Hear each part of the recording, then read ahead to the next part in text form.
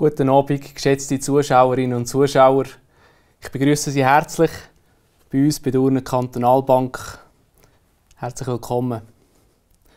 Lassen Sie mich als allererstes etwas sagen, und zwar, dass wir Sie natürlich sehr gerne persönlich empfangen hätten. Die ganze Situation und die mit dem Coronavirus verbundenen Massnahmen haben auch zur Folge gehabt, dass wir müssen umstellen und darum haben wir das heutige Format hier gewählt. Der Coronavirus hat einen grossen Einfluss auf unser alltägliches Leben und auch auf die Finanzwelt und darum das Motto von heute Abend Geld anlegen in einer verkehrten Welt.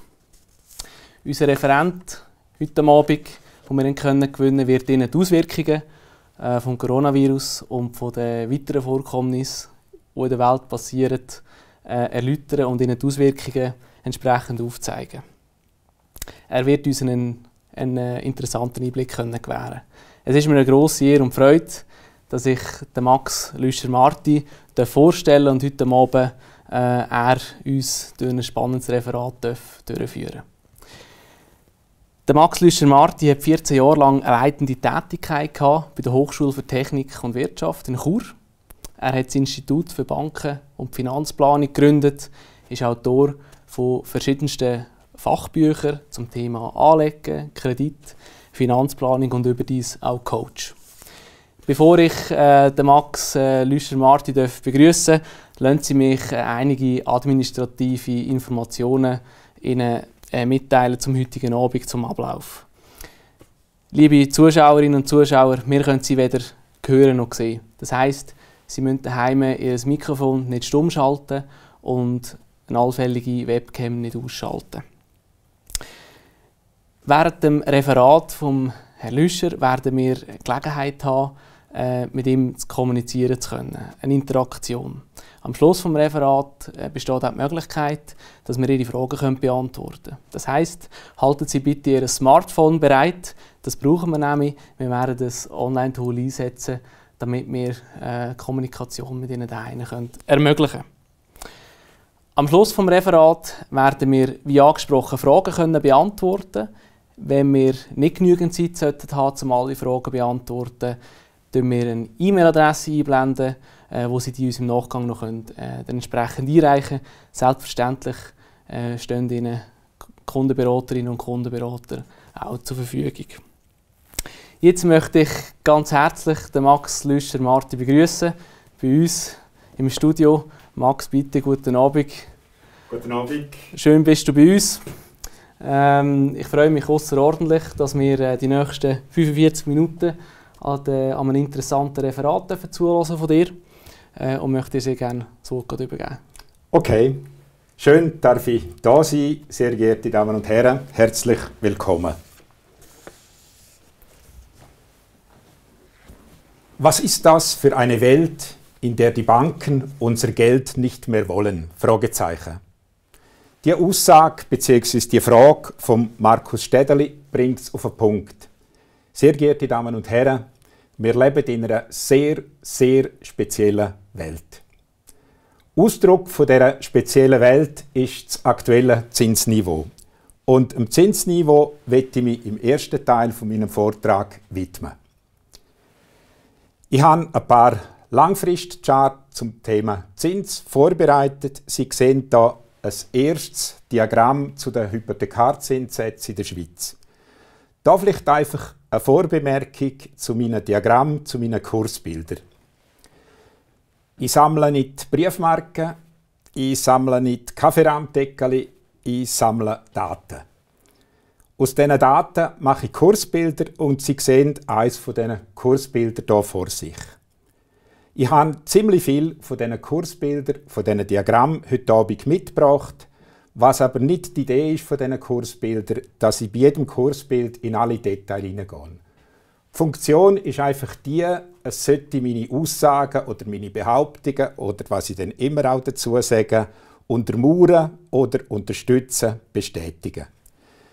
Wir sehen hier, wie gesagt, Hypothekarzinssätze in der Schweiz und hier einen markanten Punkt. Anfang der 1990er Jahre, einige von uns werden sich noch daran erinnern, haben erste Hypotheken fast 8% gekostet. wenn wir heute eine fünfjährige Festhypothek aufnehmen, kriege ich die Hypothek zu einem Satz von gut einem Prozent. Ich zeige ein zweites Diagramm. Das zeigt die Verfallrendite von Bundesanleihen, ebenfalls mit Start am 31.12.1925. Wir haben auch hier einen markanten Punkt. Wenn der Bund Mitte 1970er Jahre Geld aufgenommen hat in Form von Obligationenanleihen, dann hätte er damals mehr als 7% müssen zahlen Und wenn wir jetzt die Situation anschauen, die Verfallrendite von Bundesobligationen, die ist aktuell bei rund minus 0,5%. Was heißt das konkret? Wenn der Bund heute Schulden macht, dann zahlt er keinen Zins, sondern er kriegt Zins. Wir sind wirklich in einer sehr, sehr speziellen Welt. Und da habe ich jetzt noch die Sparzinsen, also Zinsen auf Sparkonti aufgelistet. Sie sehen, wir haben hier beispielsweise in den 70er Jahren noch Sparkontozinsen im Bereich von 5%, auch Beginn der 1990er Jahre noch Sparkontozinsen von gut 5%. Und aktuell, das wissen wir alle, sind wir bei Null. Wenn wir Gebühren noch dazu zählen, sind wir vermutlich unter Null. Sie sehen, ich habe das Diagramm, das ist eher ein Schaubild, überschrieben. Der Zins reguliert die Märkte.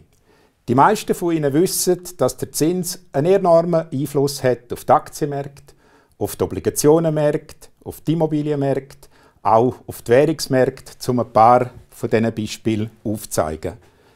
Wichtig ist einfach die Erkenntnis, und ich werde das gerne festhalten, wenn das Zinsniveau von Norden nach Süden geht, wenn es sinkt, dann hat das in der Regel Auswirkungen auf Preise an den Aktienmärkten, auf Preise an den Obligationenmärkten oder eben beispielsweise auf Preise an den Immobilienmärkten. Beim aktuellen Zinsniveau besteht einfach die Gefahr, dass wir zu teure Aktienmärkte, zu teure Obligationenmärkte zu teure Immobilienmärkte oder Erwährungsfront allenfalls Turbulenzen haben mit einem starken Schweizer Franken.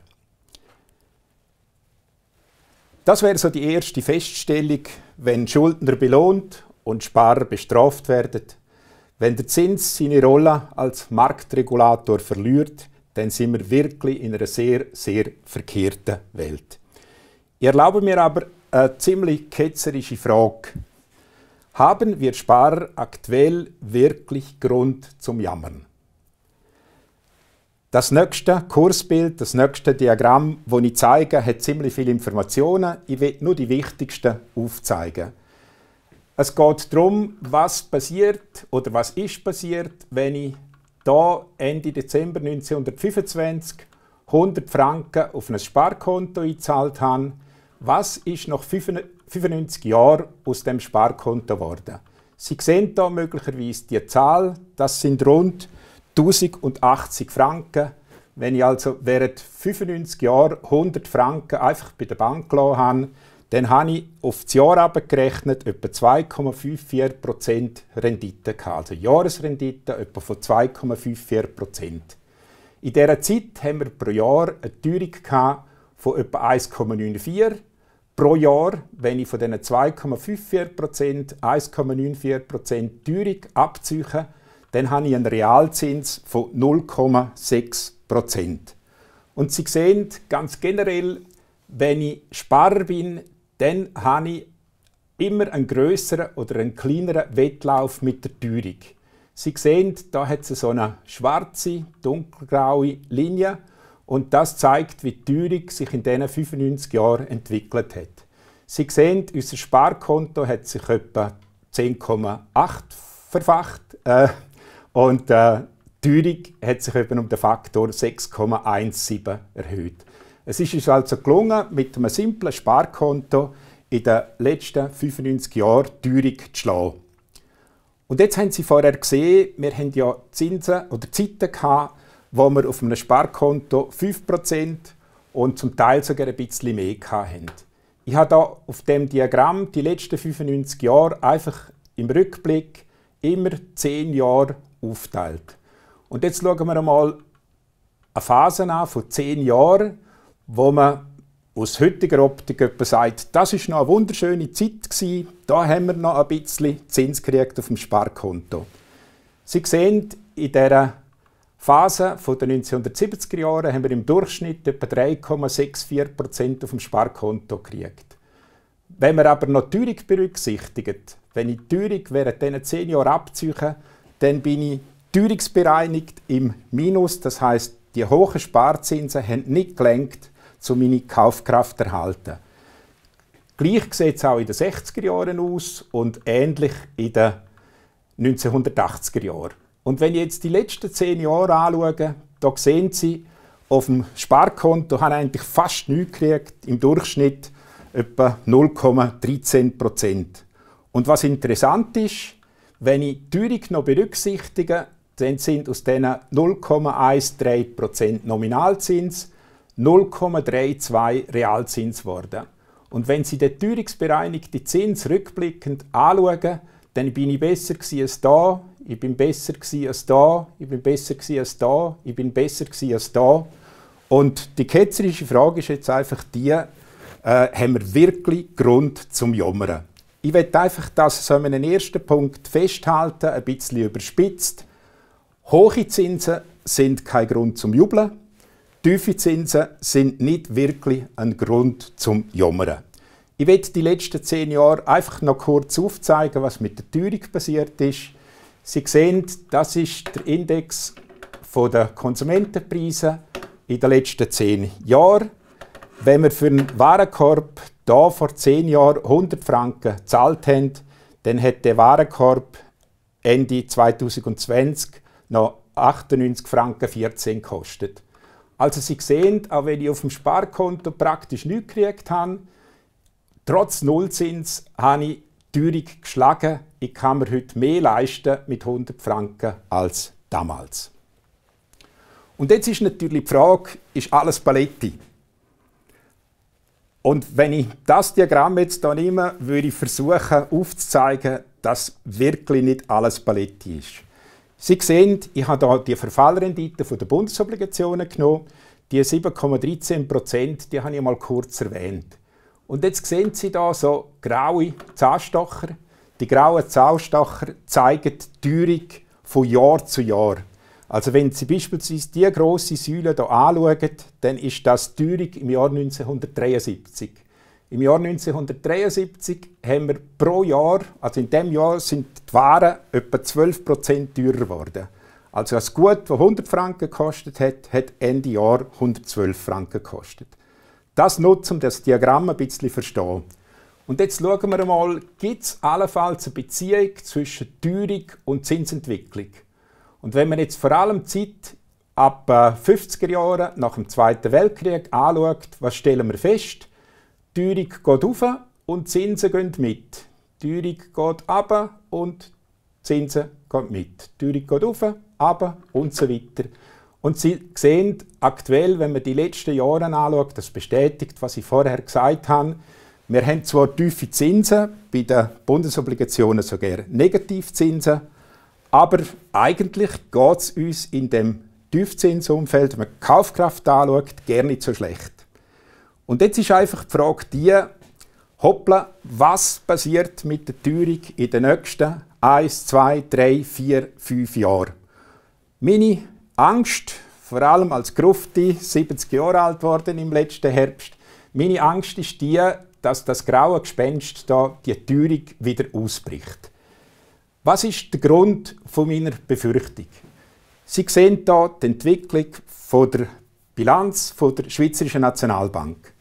Die ist lang, lang da, erste Hälfte oder erste Zeit im neuen Jahrtausend praktisch nicht gewachsen.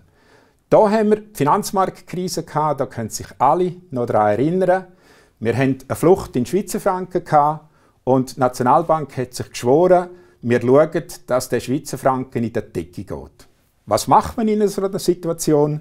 Die Nationalbank kauft Dollar, sie kauft britische Pfund, sie kauft japanische Yen und so weiter und so fort. Und Sie sehen, was ist passiert, das sind die jüngsten Daten Ende November 2020. Die Nationalbank hockt auf einem Devisenbestand von fast 900 Milliarden Franken. Um das einfach ein bisschen zu vergleichen, wenn man Pensionskassenguthaben von allen äh, Mitarbeitenden in der Schweiz zusammenzählt, dann kommen wir auf einen Betrag, der nicht wesentlich höher ist. Also die Nationalbank hat heute Devisen im Bereich von der, vom Total von allen Pensionskassenguthaben. Warum meine Angst in Sachen Inflation? Sie sehen, wenn die Nationalbank Dollar kauft, wenn sie Euro kauft, wenn sie britische Pfund kauft, dann gibt sie dafür Schweizer Franken raus. Die Schweizer Franken sind im Markt. Ein Teil von Schweizer Franken steckt in den Bilanzen der Banken ein nicht geringer Teil von diesen neu geschaffenen Schweizer Franken sind aber in den Aktienmärkten gelandet, sind in den Obligationenmärkten gelandet, sind in den Immobilienmärkten gelandet, vielleicht auch in den Edelmetallmärkten drin. Und wenn man heute allenfalls den Eindruck hat, die Preise sind an der Börse nicht mehr allzu moderat, dann ist die Geldschwemme in Schweizer Franken ein möglicher Grund dafür. Meine Befürchtung ist einfach die, dass die Schweizer Frankenschwemme nicht nur auf die Finanzmärkte eine Auswirkung hat, sondern auch, dass Märkte für Konsumgüter und Dienstleistungen davon betroffen werden, dass die Geldschwemme also dazu führt, dass man in ein, zwei, drei, vier Jahren wieder eine Teuerung hat, wo man möglicherweise gerne nicht für wahrscheinlich halten. Also meine große Angst ist die, die Teuerung bricht wieder aus, und wenn wir das Diagramm von vorher noch in Erinnerung haben, dann werden auch die Zinsen steigen. Ich komme zum eigentlichen Thema von heute Abend. Sie sehen, ich habe hier oben geschrieben, eine verkehrte Welt stellt die Grundregeln der Geldanlage nicht auf den Kopf. Im Gegenteil, sie sind wichtiger denn je. Es gibt natürlich Regeln, wie man das Geld gescheit anleitet zuhauf. Ich habe mich auf drei Grundregeln beschränkt, wo ich meine, die dürften nützlich sein. Die erste Grundregel ist eine ganz simple. Setzen Sie auf verschiedene Anlageklassen und bauen Sie eine solide Anlagepyramide. Was meine ich mit der Anlagepyramide? Das ist ein Diagramm aus meinem jüngsten Buch. Selbstverständlich ist es nicht die Idee, dass ich jetzt da sämtliche Bausteine erkläre. Die Idee von dieser Anlagepyramide ist einfach die, äh, wichtige Grundregeln äh, für Geldanlage, sind Sie auf jeder Stufe irgendwo investiert. Also fangen Sie an mit einer soliden Basis, sei es Banksparen, Versicherungssparen, Vorsorgesparen. Denken Sie auch an Obligationen, denken Sie an Aktien, denken Sie beispielsweise auch an Immobilien und denken Sie beispielsweise an Edelmetallanlagen. Und Sie sehen, ich könnte mir gut vorstellen, dass nicht alle von Ihnen, sehr geehrte Damen und Herren, in all diesen Anlageklassen, die ich jetzt erwähnt habe, schon drin sind. Wenn man in eine neue Anlageklasse hineingeht, dann gibt es einfach eine wichtige zweite Grundregel. Und die zweite Grundregel heißt, gehen Sie nur in eine Anlageklasse oder in ein Anlageprodukt hinein, wenn Sie das verstehen und vor allem, wenn Sie die Chancen, Risiken von dieser Anlageklasse realistisch einschätzen können. Ich werde in der Folge vor allem auf die Chancen und Risiken von diesen verschiedenen Anlageklassen eingehen, sei es im Bereich Obligationen, sei es im Bereich Aktien, sei es im Bereich Immobilien, sei es im Bereich Gold und Silber. Sie sehen, ich habe gesagt, fangen Sie Ihre Geldanlage an auf der tiefsten Stufe unten. Und ich will nur zwei Sätze zum Vorsorgesparen sagen. Ich habe zwei Beispiele, wo Sie dann daheim in Ruhe anschauen können. Alle, die noch berufstätig sind, stellen möglicherweise fest, dass sie noch könnten freiwillige Einlagen in Pensionskassen einzahlen. Und Sie sehen, wenn jemand beispielsweise in dem Alter noch während fünf Jahren bis etwa Richtung Pensionierung oder dass man das Geld noch herausholen kann, dann haben sie mit freiwilligen Pensionskasseneinlagen Renditechancen im Bereich von 10% plus. Also meine äh, Empfehlung ist immer die, wenn jemand mich fragt, was soll ich mit dem Geld machen, meine erste Frage ist immer die, hast du deine Pensionskasseneinlagen voll genutzt? Und erst dann reden wir über nächste Anlageklasse. Ich würde auch empfehlen, das Vorsorgekonto 3a nicht zu vergessen. Auch auch jetzt, wo es fast keinen Zins mehr gibt, werden Sie mit dem Vorsorgekonto 3a, mit dem Steuergeschenk von Bund, Kanton, Gemeinden 2% und mehr können generieren. Ich komme zu der Anlageklasse Obligationen. Und auch bei der Anlageklasse Obligationen werde ich einfach einmal zuerst zurückschauen auf die letzten 95 Jahre. Sie sehen hier ein Diagramm, ähnlich wie wir das beim Sparkontosparen gesehen haben. Wenn man schaut, was man mit Obligationen die letzten 95 Jahre etwa hat können rausholen dann hat man im Durchschnitt der letzten 95 Jahre pro Jahr eine Rendite von etwa 4,23 Prozent können erzielen. Wenn ich wieder die Teuerung von 1,94 Prozent abziehe, dann habe ich eine Realverzinsung von knapp 2,3 Prozent. Also Sie können sich vielleicht noch erinnern, mit simplen Sparkontoeinlagen bin ich von 100 auf knapp 1100 Franken gekommen, mit Obligationen von 100 auf gut 5000 Franken. Und jetzt ist einfach die Frage, können wir die Renditeerfahrungen von der Vergangenheit einfach so in Zukunft fortschreiben? Und die Antwort ist ganz simpel, ganz klar Nein. Ich werde das kurz an dem ziemlich bunten Diagramm, an dem Schaubild aufzeigen. Tun Sie noch die grüne und die blaue Kurve beachten. Sie sehen, das sind wieder die letzten zehn Jahre. Vor zehn Jahren hat man für erstklassige Schweizer Frankenobligationen, also von Schweizer Schuldner, etwa noch 1,64% Rendite gehabt. Aktuell sind wir bei diesen erstklassigen Schuldner, Banken, Unternehmungen, Kantonen etc. bei einem Zinsniveau unter Null von minus 0,23. Also wer heute neu in den Obligationenmarkt investiert, hat keine positive Rendite, sondern eine negative. Und jetzt sehen Sie, was gibt es für einen Zusammenhang zwischen Verfallrendite, zwischen den grünen Zinsen, die ich hier drin habe, und den Obligationenmärkten. Sie sehen, hier in der ersten Phase sind die Zinsen für neue Obligationen gesunken. Und was passiert mit den Preisen für alte Obligationen? Die steigen. Da sind Zinsen für neue Obligationen wieder gesunken und die Preise für die alten Obligationen sind gestiegen. Und wenn Sie meine Befürchtung anschauen, was könnte im Bereich Inflation und Zinsen in den nächsten 1, 2, 3, 4, 5 Jahren bevorstehen, dann würde ich vermuten, dass nicht das Jahr, vielleicht auch nicht das nächste Jahr, vielleicht auch jetzt über, übernächstes Jahr die Inflation wieder ein Thema wird und die Zinsen für neue Obligationen wieder steigen. Das würde bedeuten, dass die Obligationenpreise oben runterkommen und dass sie mit Obligationen die nächsten Jahre vermutlich nicht allzu viel Geld können verdienen Und jetzt ist natürlich die Frage die, gibt es allenfalls eine Möglichkeit, äh, mit Fremdwährungsobligationen noch ein bisschen Zins zu generieren, noch ein bisschen Geld zu verdienen. Und wenn Sie das Diagramm anschauen, sehen Sie, ob wir jetzt hier den Aussie-Dollar nehmen, hier grün oben dran, ob Sie Zinsen für äh, britische Anleihen, ob Sie amerikanische Staatsanleihen nehmen, ob Sie deutsche Staatsanleihen nehmen, ob Sie japanische Bonds nehmen oder eben da Schweizer Franken. Alle Verfallrenditen sind im Keller.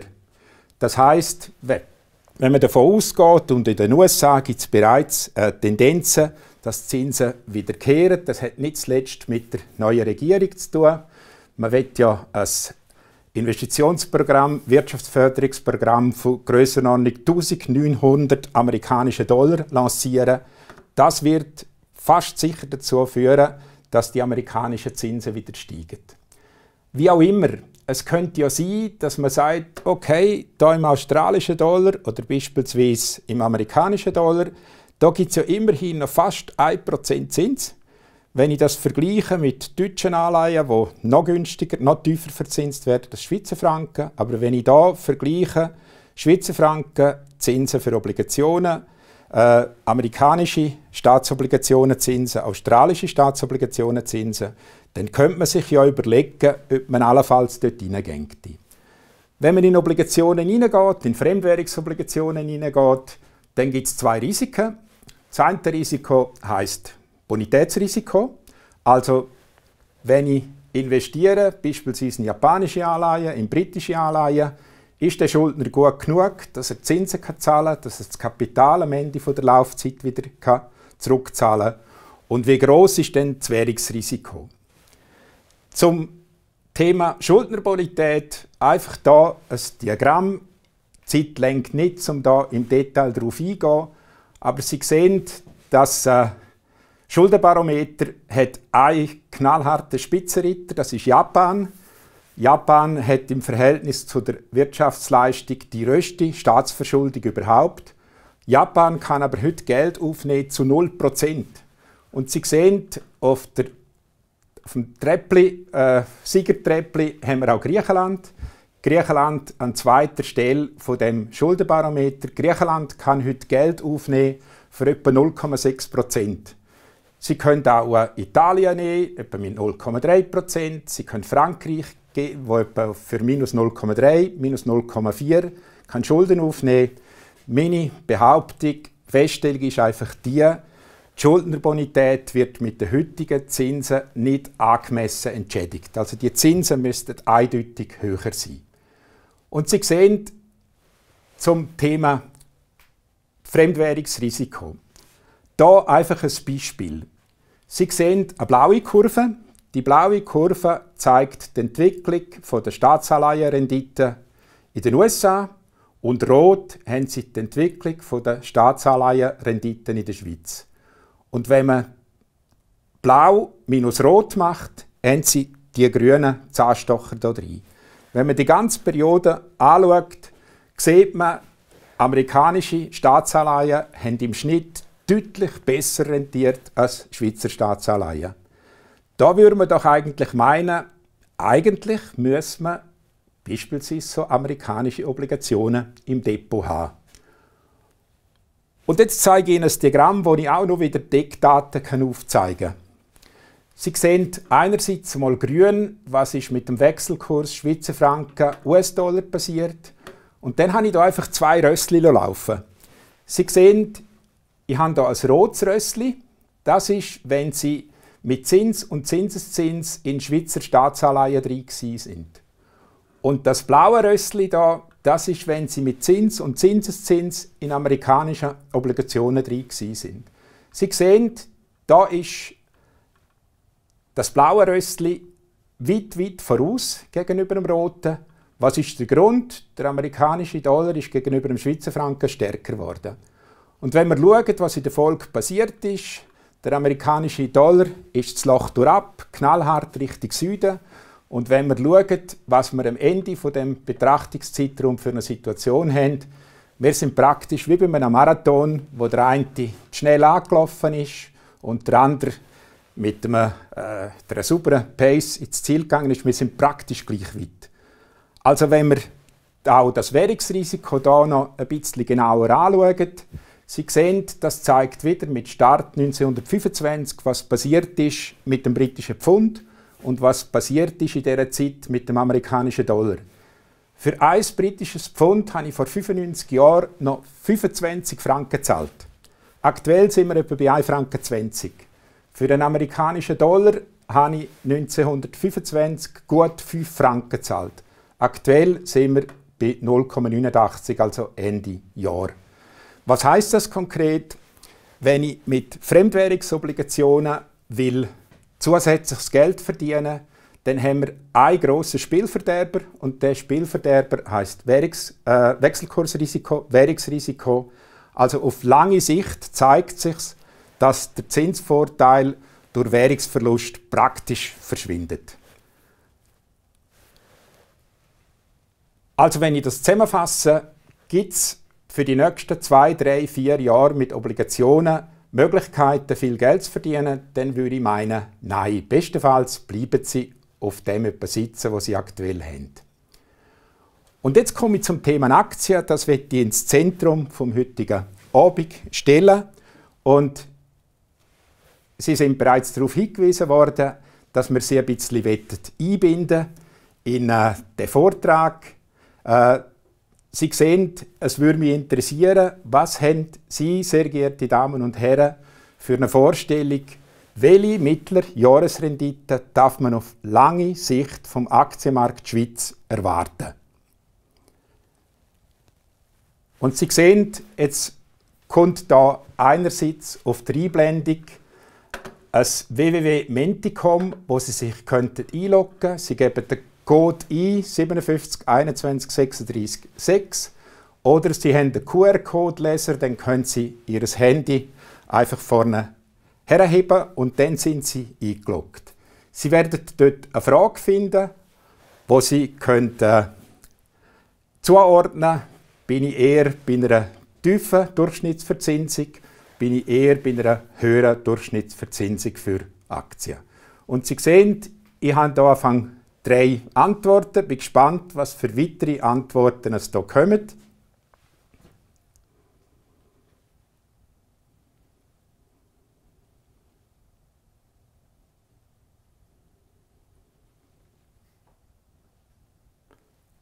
Also Sie sehen, wir haben hier so den Bereich 4% bis 5,99%, der dominiert.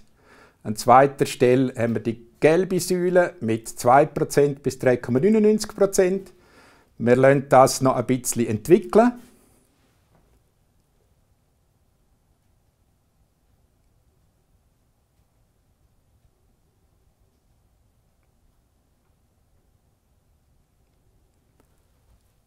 Okay, ich würde meinen, wir lassen das einmal gut sein und schauen, wie gut sie mit ihren Einschätzungen reinliegen. Aber da haben wir noch jemanden, der äh, ganz, ganz tief unten ist, bei 0 bis 1,99 Prozent. Dann darf ich bitten, dass man die Hitparaden einmal wegschaltet und ich werde Ihnen zeigen, wie das auf Basis der letzten 95 Jahre tatsächlich ist. Sie sehen, wenn ich am 31.12.1925 100 Franken in Aktienmarkt Schweiz investiert habe, dann sind, und zwar immer mit Reinvestition von der Dividende, also die Dividende haben sie nicht konsumiert, sondern wieder in den Aktienmarkt investiert, dann sind aus diesen 100 Franken gut 127.000 Franken geworden. Also wir haben eine Durchschnittsverzinsung von 7,82. Und die, die jetzt Ziele gewählt haben, 5 bis 5, 4 bis 5,99 Prozent, die sind durchaus auch recht gut gelegen.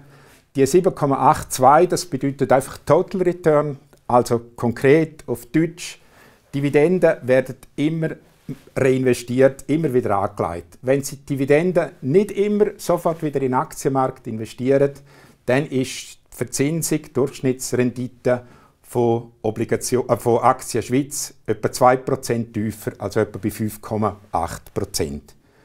Und Sie sehen, wenn ich auch im Freundeskreis schaue, wie viele Leute sind wirklich in der Aktie drin, dann stelle ich fest, dass sehr viele Aktienabstinenten um sind. Und Sie sehen, Sie haben da einerseits die Optimisten, die natürlich die Jahre streichen, wo ich mit Aktien sehr, sehr viel Geld verdient habe. Also beispielsweise das Jahr 1985 mit über 60 Prozent in einem Jahr.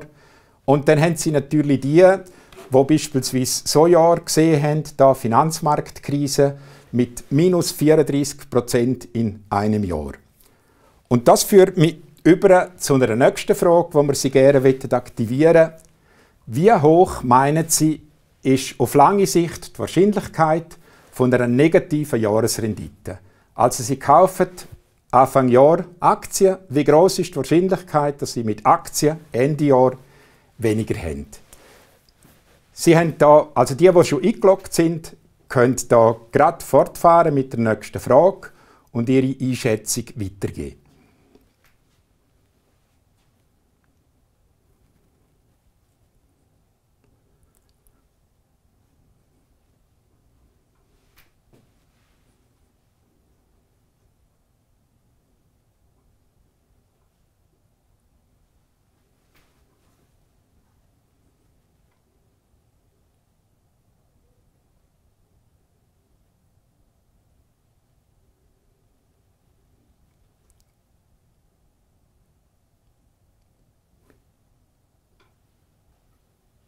Ja, ich nehme das Bild einfach mal zum Nennwert. Wir sehen, Wir haben Leute, die das Gefühl haben, auf Jahresbasis ist das Risiko sehr, sehr klein. Und wir haben am meisten äh, Votes, wenn ich dem so will sagen, wo das Risiko, das Verlustrisiko auf Jahresbasis zwischen 10 und 15 Prozent einschätzen. Drei sind dort, wo das Risiko einschätzen im Bereich 30 bis 35 Prozent. Und jetzt möchte ich einfach zeigen, auf Basis der letzten 95 Jahre, wie das tatsächlich war. Das ist die Antwort. Sie sehen, wir haben grüne Zahnstocher und rote Zahnstocher. Rote Zahnstocher sind Jahre, wo wir das Jahr mit einer Minusrendite beendet haben. Die grünen Zahnstocher sind Jahre mit einer positiven Rendite. Und Sie sehen, wenn ich die roten Zahnstocher zusammenzähle, dann gibt es 29. Wenn ich die grünen Zahnstocher zusammenzähle, dann gibt es 66. Wenn ich die 69, äh, 29 roten Zahnstocher ins Verhältnis setze von insgesamt 95 Aktienjahren, dann gibt es einen Wert von gut 30 Prozent. Das würde also bedeuten, das Risiko mit Aktien, dass sie Ende Jahr weniger haben als Anfang Jahr, ist ungefähr 30 Prozent. Ich tue, wenn ich junge Leute unterrichte, einfach mit einer Faustregel arbeiten. Wenn sie in Aktien investieren und drei Aktienjahre nehmen, dann müssen sie in einem von diesen drei Aktienjahren im statistischen Mittel damit rechnen, dass sie Hinterschi machen. In zwei von drei Aktienjahren dürfen sie im statistischen Mittel damit rechnen, dass sie mit Aktien Fürschi machen. Und Sie sehen, die, die gerne ein bisschen Statistik haben, die rote Kurve das ist die Glockenkurve vom Herr Gauss. Der Herr Gauss, der hat von Aktien sicher kaum etwas gewusst. Der hat einfach behauptet, wenn wir die Mitte nehmen, etwa von 7,82 Prozent, am häufigsten gibt es Jahresrenditen etwa in die Mitte. Sie sehen, das ist eine Klasse 0 bis 5 Prozent.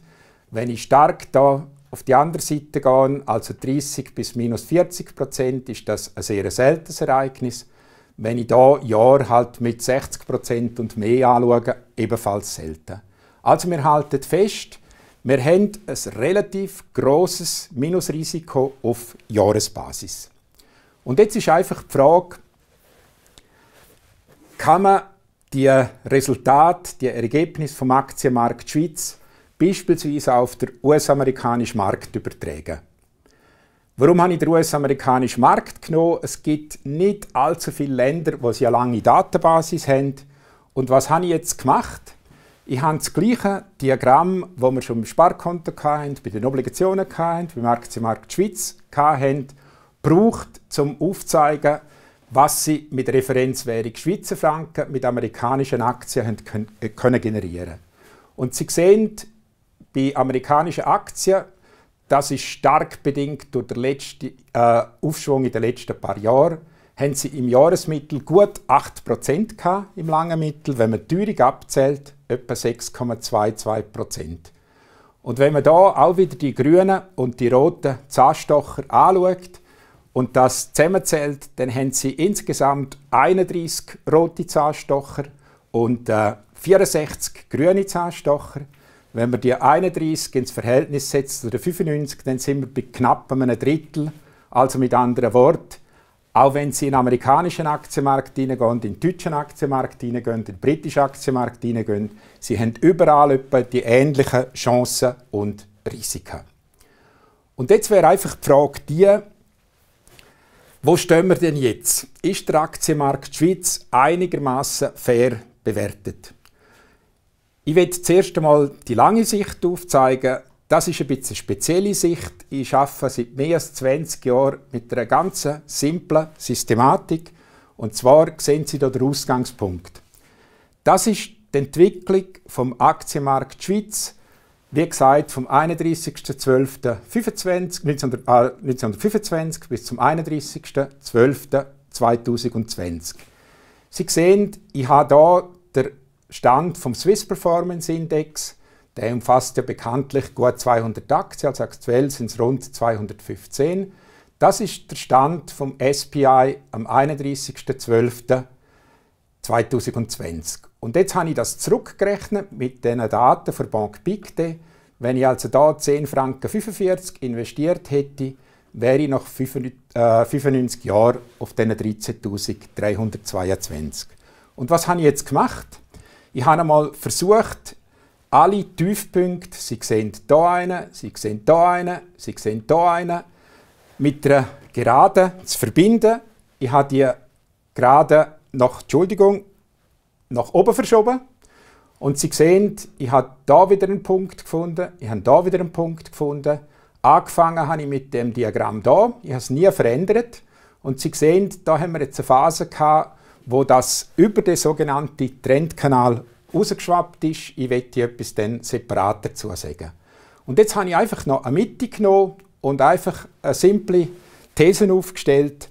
Wenn ich in dem langfristigen Aufwärtspfad oberhalb von der Mitte bin, dann sind wir eher überbewertet. Wenn wir unterhalb von der Mitte sind, dann sind wir eher unterbewertet. Und Sie sehen, jetzt habe ich genau den gleichen Kanal einfach Grund gelegt für äh, den Swiss Performance Index, seit es ihn gibt. Also den Swiss Performance Index gibt es seit 1987. Und wenn man jetzt versucht, sich ein Bild zu machen, taugt der Aktienbarometer, den ich hier entwickelt habe, etwas, dann sehen Sie, da ist der Aktienmarkt Schweiz über mein Band, über meinen Trendkanal rausgeschwappt. Meinen Studenten damals habe ich gesagt, wenn der Markt nicht korrigiert, gebe ich meinen Job auf. Sie sehen, wir haben hier wieder äh, eine Entwicklung gehabt, zumindest am Rand von dem Trendkanal. Und Sie sehen, da zwar mit deutlicher Verzögerung, hat es korrigiert, es hat korrigiert, und wenn wir jetzt die Situation anschauen, dann sehen Sie, bin ich näher bei dieser Mitte. Das heißt, gesehen ist leicht übertrieben, man sieht es nämlich fast nicht. Darum habe ich jetzt das Diagramm gekippt. Als Sie sehen, das hat in der Mitte eine orange Linie und das, was jetzt hier steigt, habe ich einfach waagerecht gemacht. Und Sie sehen, wenn wir jetzt die Situation hier anschauen, äh, Ende 1990er Jahre, dann habe ich gesagt, das ist ein Kennzeichen für eine massive, irrationale Überbewertung. Da nach der Finanzmarktkrise hätten wir eigentlich sensationelle Einstiegschancen gehabt, wenn man dem Barometer glaubt. Und wenn wir jetzt die Situation per Ende Dezember 2020 anschauen, äh, ist meine Einschätzung die, dass wir ein Korrekturpotenzial in Richtung von der orangen Linie von etwa 9,5% haben. Sie wissen alle, in den ersten Januartag, in den ersten Tag des neuen Jahres, ist der Swiss Performance Index noch stärker gestiegen. Also das aktuelle Korrekturpotenzial auf ein normales, vernünftiges, trendneutrales Niveau würde ich etwa bei 10 bis 11 Prozent einschätzen. Und Sie sehen, jetzt gibt es noch eine zweite Möglichkeit, die ich selber brauche, um den Aktienmarkt einschätzen, ob er einigermaßen fair bewertet ist. Hat es wieder einen Haufen Informationen drauf und Sie sehen, man kann die Märkte auch beurteilen oder ein Unternehmen beurteilen, indem dass man die Bilanz von dem Unternehmen analysiert oder analysieren lässt und die Erfolgsrechnung analysiert. Und Sie sehen hier eine zentrale Größe, das ist der Gewinn, den ein Unternehmen generiert. Wenn ich den Gewinn von einem Unternehmen teile durch Anzahl Aktien, dann gibt es eine Größe, die heißt Gewinn pro Aktie oder Sie sehen hier ausnahmsweise noch einen englischen Ausdruck EPS Earnings per Share. Als Sie sehen, ich habe einmal unterstellt, es gibt ein Unternehmen, das einen Gewinn pro Aktie von 20 Franken erzielt. Der aktuelle Aktienkurs wäre 300 Franken. Und wenn ich jetzt die 300 Franken teile durch die 20 Franken Gewinn pro Aktie, dann gibt ich das ein Kurs-Gewinn-Verhältnis von 15 Mal. Das heißt, der Aktienkurs ist 15 Mal höher als der erwartete Gewinn. Und ich habe da noch eine zweite Größe drin, das wäre die Dividende pro Aktie. Also das ist eine realistische Größe. Wir haben einen Gewinn pro Aktie von 20 Franken das Unternehmen zahlt 60% davon in Form von Dividenden aus. Wenn ich wieder einen Kurs habe von 300 Franken, gibt das eine Dividendenrendite von 4% Also 12 Franken Dividende geteilt durch 300 Franken Kurs macht 4% Dividendenrendite. Und jetzt schauen wir mal an, was ist Sitz für die Schweiz einigermaßen für vernünftige Daten gibt, was ist passiert. Sie sehen unten den blauen Teil. Der blaue Teil zeigt auf, wie sich die Gewinnerwartungen, und zwar immer Gewinnerwartungen für die nächsten, auf Basis der nächsten zwölf Monate entwickelt haben. Und Sie sehen, wir haben, glaube ich, ziemlich einen klaren Zusammenhang zwischen Aktienkursentwicklung und Gewinnerwartungen. Steigende Gewinnerwartungen, SPI steigt, sinkende Gewinnerwartungen, SPI sinkt, steigende Gewinnerwartungen und so weiter. Und Sie sehen, jetzt kann man den äh, Gewinn von allen Unternehmen, die im SPI drin sind, in Punkt ausdrücken. Sie sehen die Gewinnpunkt bei einem Indexstand von 13.332 Punkten. Wenn ich das durch das teile, also die 13.332,28 durch die 797,99, dann gibt es ein sogenanntes Kurs-Gewinn-Verhältnis von 18,83. Und jetzt ist die Frage, ist das viel oder ist das wenig? Und die Antwort darauf sehen Sie da. Ich habe einfach, seit ich diese Daten habe, sind Bloomberg-Daten, geschaut, was ist ein durchschnittliches Kurs-Gewinn-Verhältnis. Sie sehen, wenn ich den Durchschnitt nehme von diesen Kurs-Gewinn-Verhältnissen über die letzten rund 33 Jahre, dann ist Mitte bei 16 Prozent. Aktuell sind wir bei 18,83 Prozent. Wenn ich jetzt schaue, wie hoch das Korrekturpotenzial ist bei diesen Gewinnerwartungen, die wir hier haben, dann würde es bedeuten, ein Pi von 18,83% ist ziemlich stark am Rand da aus meiner äh, persönlichen Einschätzung von einer Überbewertung, von einer Überteuerung.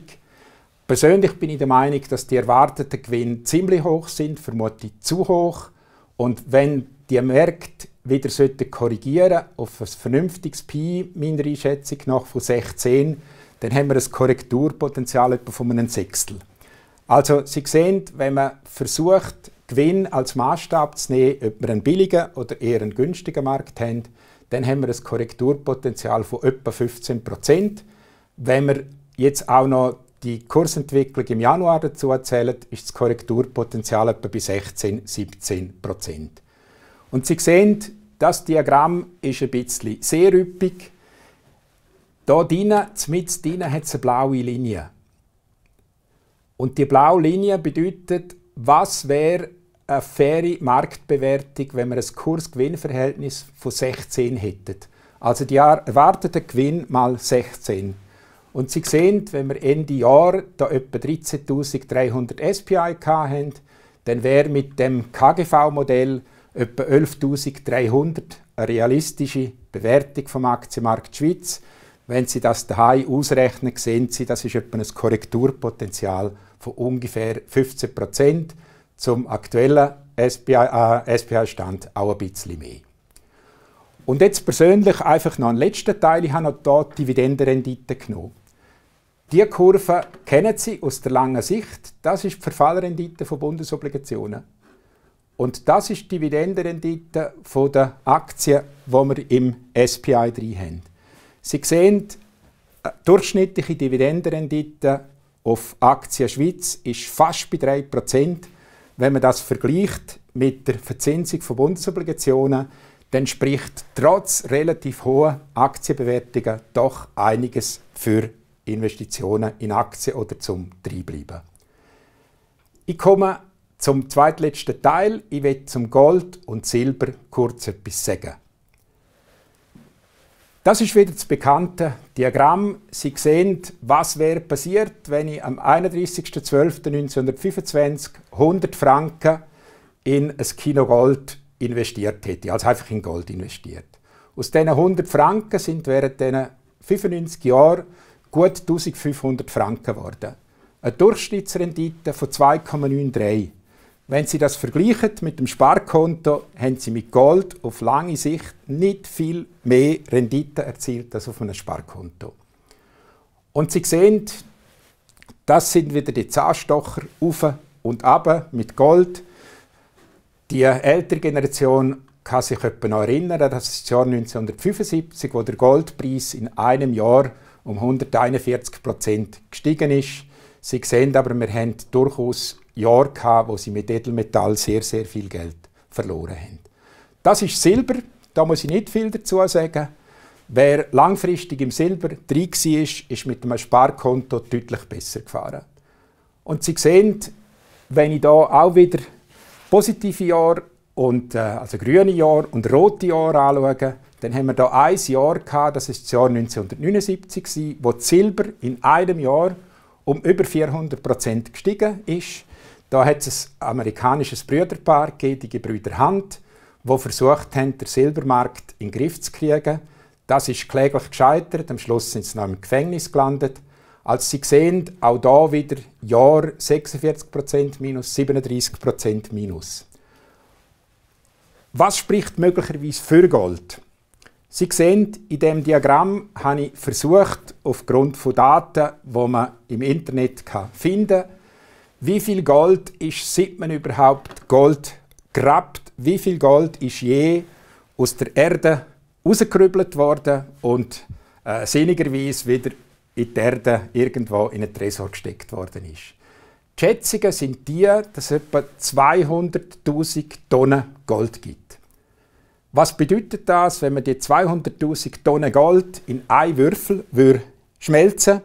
Dann gibt es als einen Goldwürfel mit 21,5 Meter Kantenlänge. Also 21,5 mal 21,5 mal 21,5. Gold ist knapp. Gold darf man ein bisschen im Depot haben. Und Gold hat vor allem kein Emittentenrisiko. Als Sie sehen, wenn Sie Obligationen kaufen, der Schuldner kann Konkurs gehen.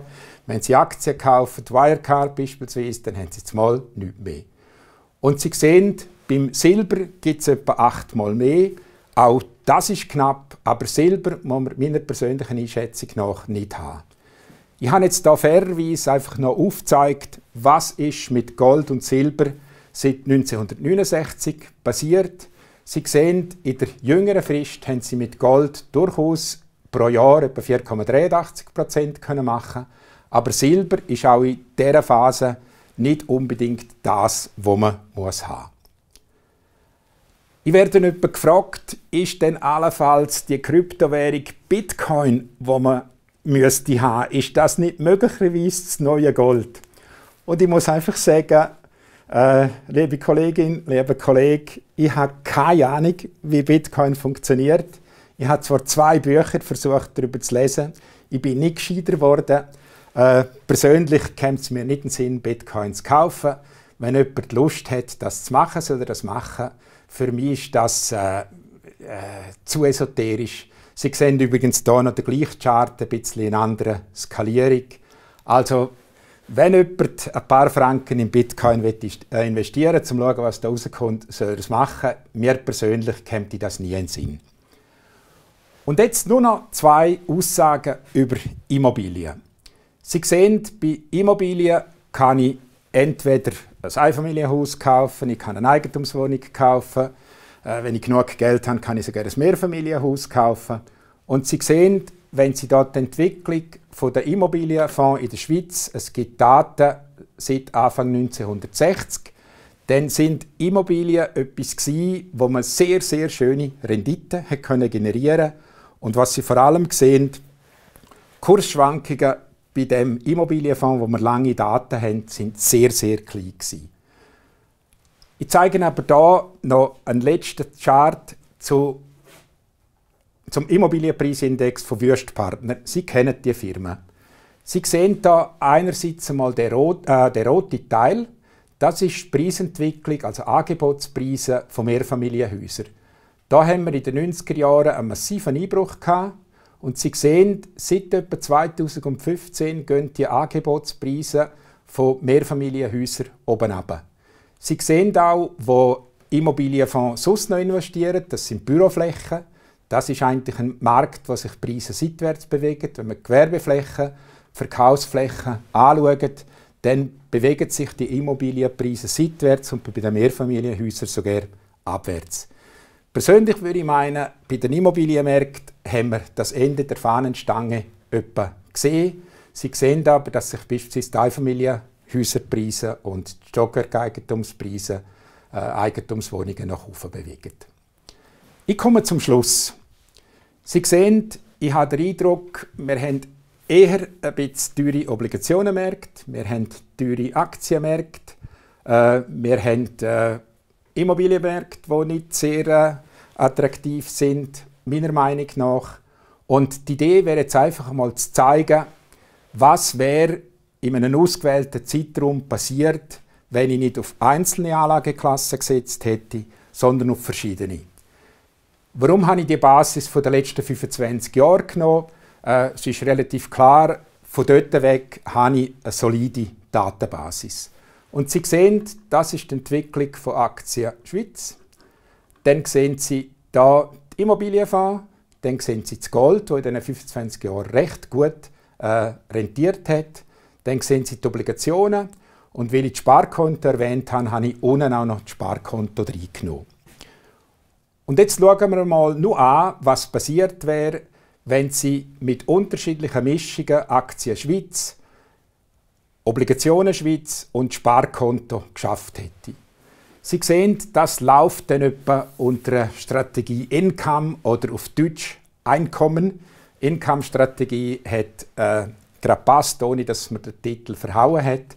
Sie sehen, wenn ich beispielsweise mit 20% Sparkonto, 64% Obligationen Schweiz und 16% Aktien Schweiz gefahren bin, dann habe ich in diesen 25 Jahren im Schnitt 3,73% generiert und die Unterzahl, das wäre die Volatilität, das wäre das Ausmaß der Kursschwankungen. Ich habe dann auch versucht zu zeigen, was wäre passiert, wenn man neben Obligationen Schweiz und Aktien Schweiz auch noch in Auslandobligationen, in Auslandaktien wären. Also ich habe den Anteil Aktien Schweiz und Aktien Welt halbiert und das gleiche bei den Obligationen. Wenn Sie das vergleichen, in den letzten 25 Jahren haben Sie mit der internationalen Diversifikation keine Zusatzrendite generiert. Bei den Risiken sind sie sogar noch ein bisschen höher gewesen. Ich erinnere an einfach das, was ich zu den Fremdwährungsrisiken gezeigt habe. Und jetzt kann ich eigentlich relativ locker meinen Vortrag abschließen. Das wäre die Idee 20% Sparkonto, 50% Obligationen, 30% Aktien. Wir sind bei 4,49. Wenn Sie international diversifiziert haben, mit dem gleichen Gefäß, sind Sie ein bisschen schlechter. Wenn man eine sogenannte Balance-Strategie fährt, als Sie sehen, Zinspapiere etwa die Hälfte und Aktien die Hälfte, also 10% Sparkonto, 40% Obligationen, 50% Aktien, sind Sie bei 5,71. Risiko natürlich höher, 9,10. Das wieder internationale Diversifikation. Sie sind eher schlechter gefahren, wenn Sie auch Auslandaktien haben und Fremdwährungsobligationen. Das wäre China Wachstum, Growth, also mit einem Aktienanteil im konkreten Fall da von 70 Prozent, wenn Sie nur die Schweiz genommen haben, und da bei Ausland, bei einem Auslandanteil. Und Sie sehen, das wäre noch China 90 Prozent Aktien, da nur Schweiz und da aufteilt der Aktienanteil in die Hälfte Schweiz und die Hälfte Ausland. Und das dort zeigt eigentlich, was in den letzten 25 Jahren passiert ist. Sie kennen ja das wunderschöne englische äh, Unwort, will ich sagen, no risk, no fun. Wenn Sie halt auf der Schiene Rendite da weiter raufkommen dann bleibt Ihnen in Gottes Namen nichts anderes übrig, als halt auch in Papier, in Sachen hineinzugehen, die mehr Risiko haben. Aber Sie sehen, wenn wir da jetzt beispielsweise etwas, das ich selber gerne empfehle, also einen ausgewogenen Teil, etwa die Hälfte Zinspapier, die Hälfte äh, Aktien, dann haben sie in den letzten 25 Jahren eine sehr schöne Rendite erreicht.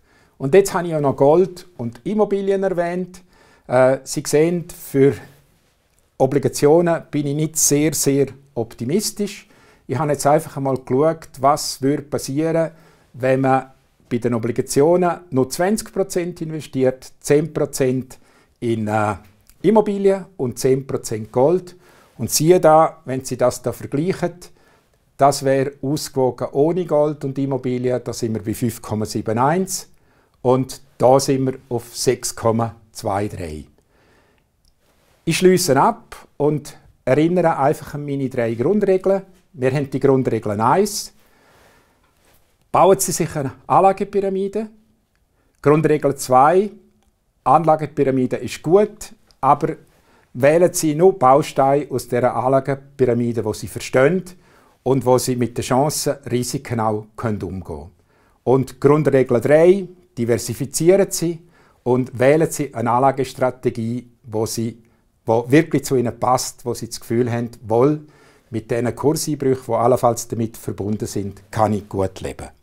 Ich habe versprochen, ich sei etwa am 8. fertig. Das habe ich einigermaßen eingehalten. Danke vielmals, dass Sie mir zugelassen haben. Ich bin noch so frech und so frei, dass ich noch auf mein jüngstes Buch hinweise. Auf meiner Homepage finden Sie Detail. Danke vielmals, Max, für das extrem spannende Referat. Ich nehme viel Erkenntnis mit. Nicht nur äh, den, den Goldwürfel, den man sich kann vorstellen kann, jetzt wo man weiss, äh, ähm, äh, wie groß äh, das der ist, den hätte ich mir viel grösser vorgestellt. Ich bin sicher, es gibt äh, noch Fragen von unseren Zuschauerinnen und Zuschauern.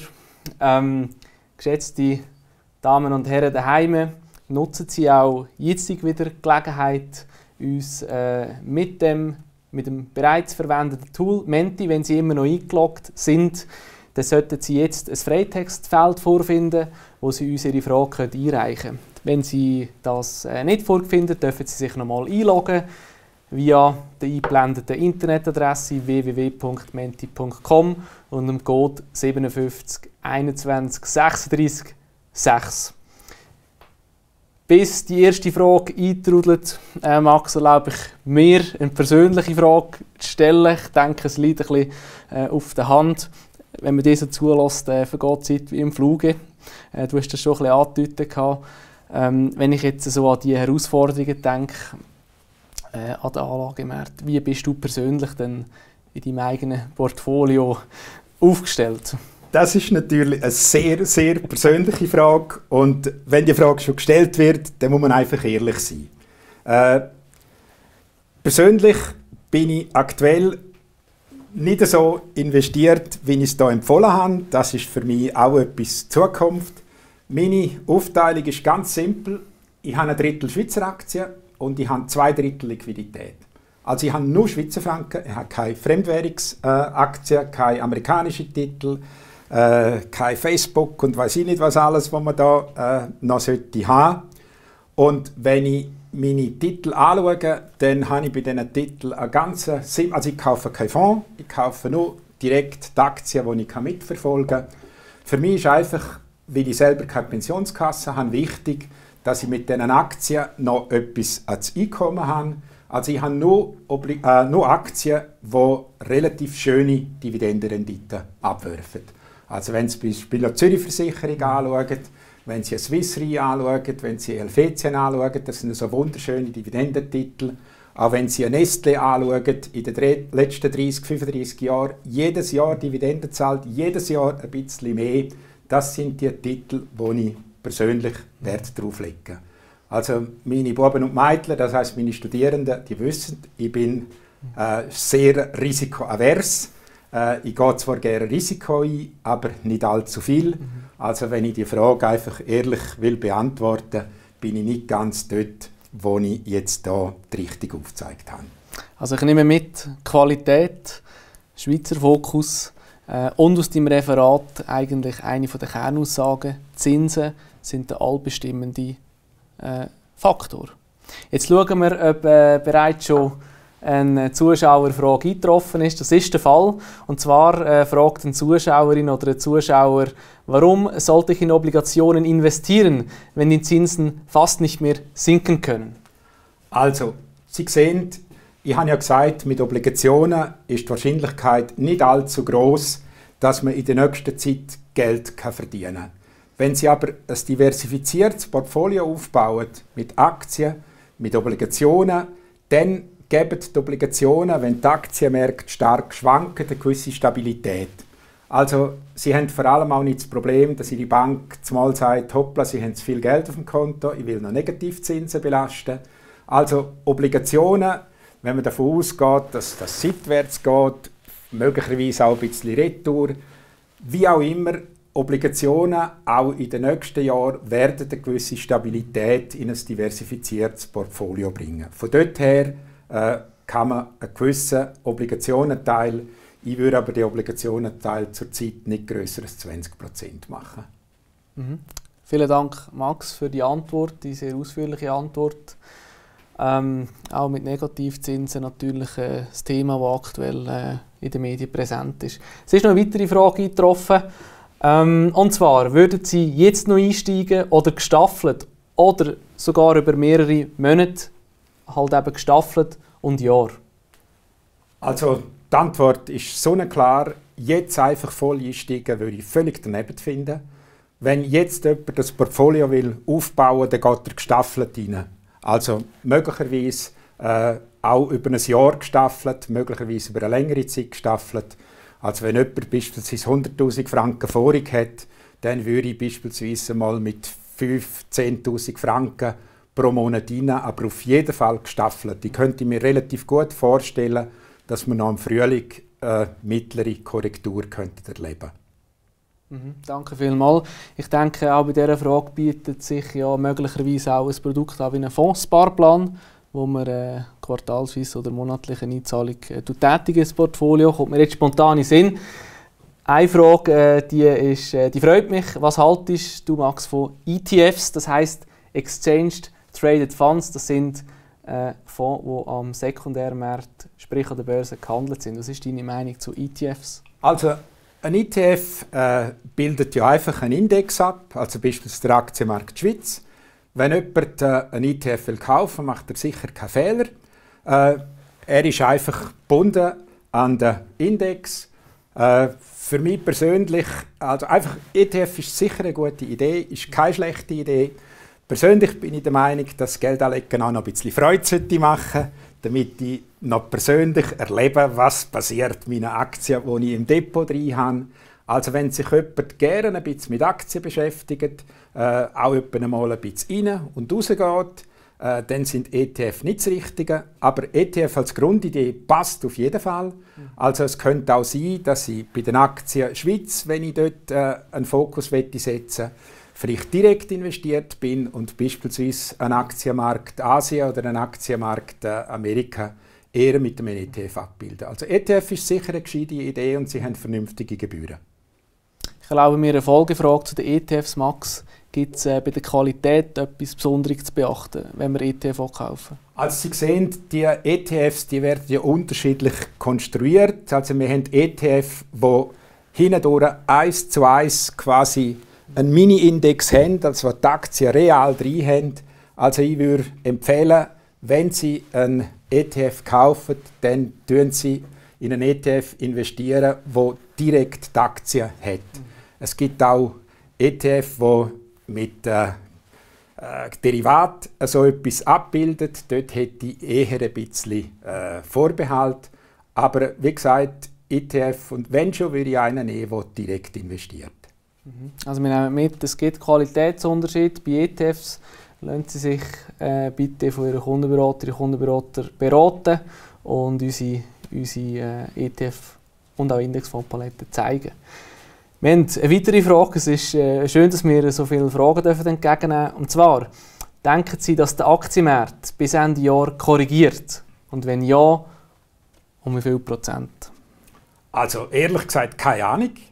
Äh, Sie sehen, ich habe mein Aktienbarometer und man kann äh, Aktienmärkte vergleichen mit einem Vulkanausbruch oder mit einem Erdbeben.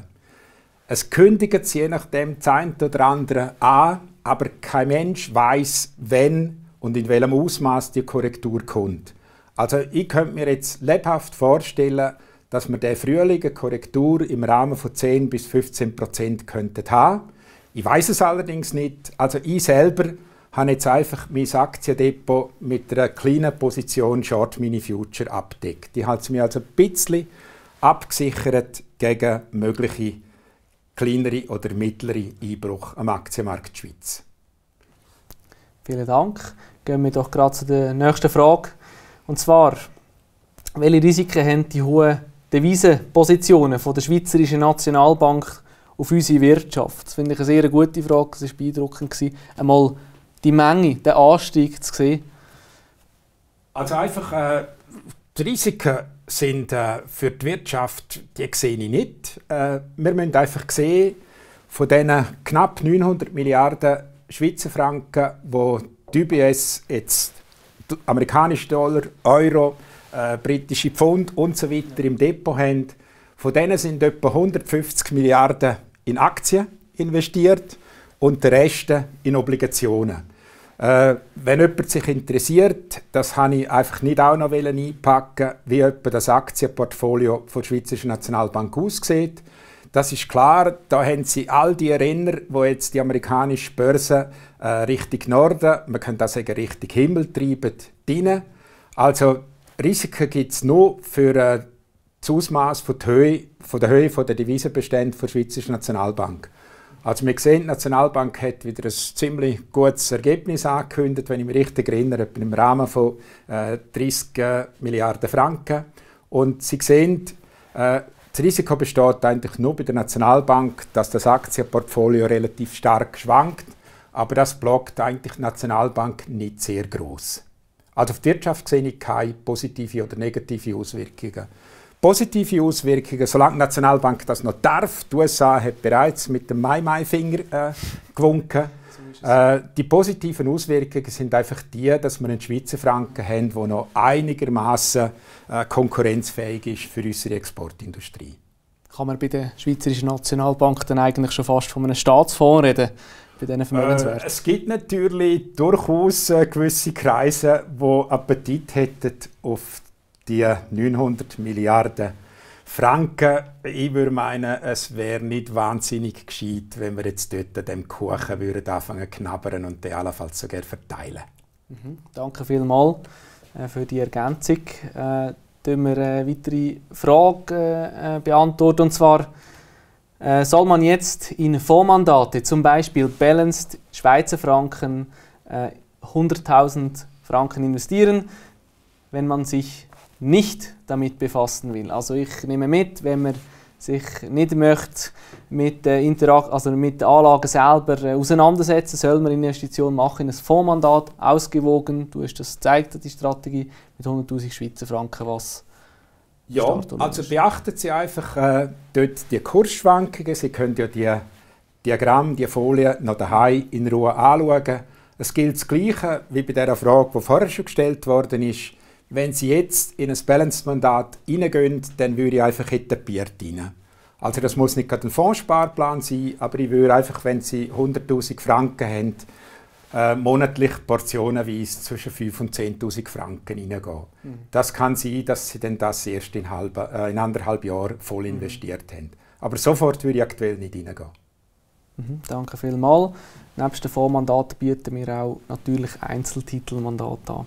Ich würde sagen, wir beantworten noch zwei weitere Fragen, Max. Die Zeit ist vorgeschritten. Äh, es sind noch ganz viele Fragen, äh, wären eigentlich noch da. Und zwar die nächste Frage. Sind die steigenden Gebühren in den Statistiken auch berücksichtigt worden? Also Gebühren sind selbstverständlich nicht berücksichtigt. Äh, ob die Gebühren jetzt tatsächlich gestiegen sind in letzter Zeit, das wird ich in Frage stellen. Also Banken haben ja einen knallharten äh, Konkurrenzkampf äh, bei der Courtage, bei den Börsengebühren, bei den Depotgebühren. Aber in all diesen Statistiken, die ich gezeigt habe zum Obligationenmarkt, äh, zum Aktienmarkt, sind keine Depotgebühren drin, sind keine Transaktionskosten, keine Courtage drin. Also das muss man alles entsprechend berücksichtigen. Die Einkommensteuer selbstverständlich auch nicht. Das ist noch ein guter Hinweis an dieser Stelle. ähm, eine letzte Frage, äh, die wir sehr gerne beantworten. Was wäre eine sinnvolle Strategie, wenn die Zinsen wirklich steigen würden? Also ich höre auch schon eine Skepsis da daraus. Ähm, was wäre denn eine ja, sinnvolle Strategie? Also eine gescheite Antwort darauf gibt es nicht.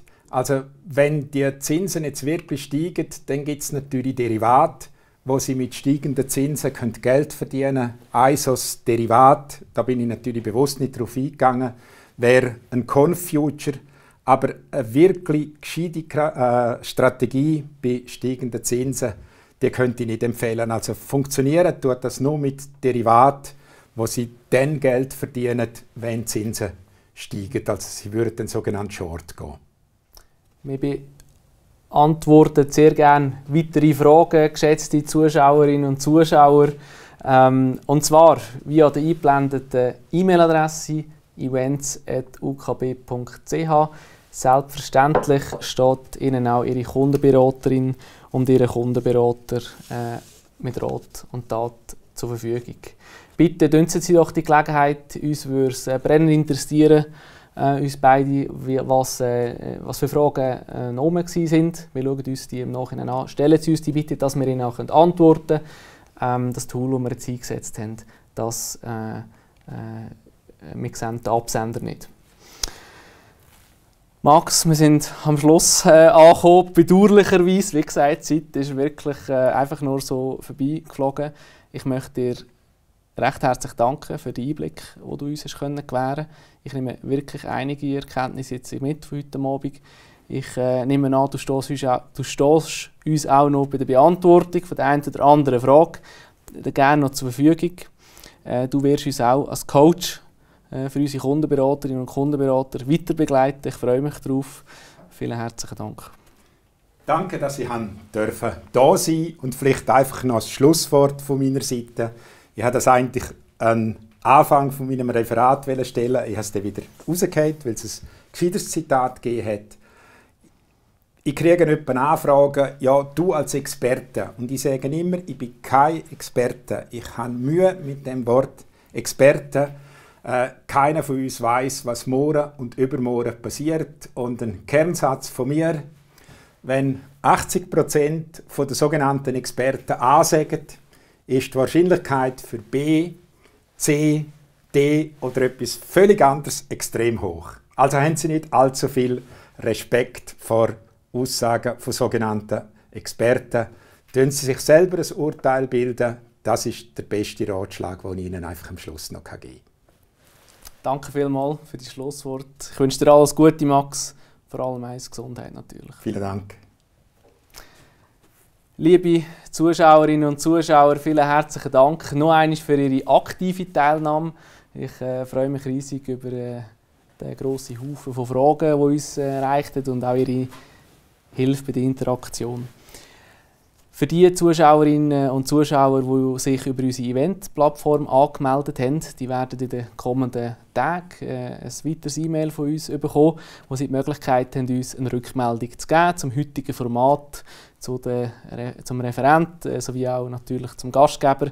Bitte äh, machen Sie von dem Gebrauch. Nur äh, mit Ihrer Rückmeldung können wir uns verbessern und das Format äh, möglicherweise äh, für, für künftige Veranstaltungen anpassen.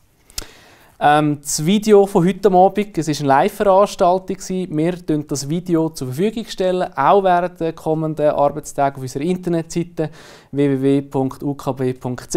Ich lade Sie ein, äh, nochmal nachzuschauen, auch bei den wirklich doch sehr interessanten Charts und Diagrammen, die uns der Max äh, aufgezeigt hat. Und äh, scheuen Sie sich auch nicht, doch bitte das Video zu teilen und uns äh, auf YouTube ein Like da zu lassen. Ähm, im Namen des ganzen UKB-Team äh, darf ich Ihnen ausrichten, dass äh, wir Sie natürlich bald, möglichst, wieder möchten, persönlich bei uns empfangen. Drücken wir die Daumen, dass das äh, wird der Fall sein Ich äh, wünsche auch Ihnen daheim jetzt alles Gute und vor allem auch eins, äh, wie Max, vor allem Gesundheit. Danke vielmals für Ihre Aufmerksamkeit und einen guten Abend. Ade miteinander.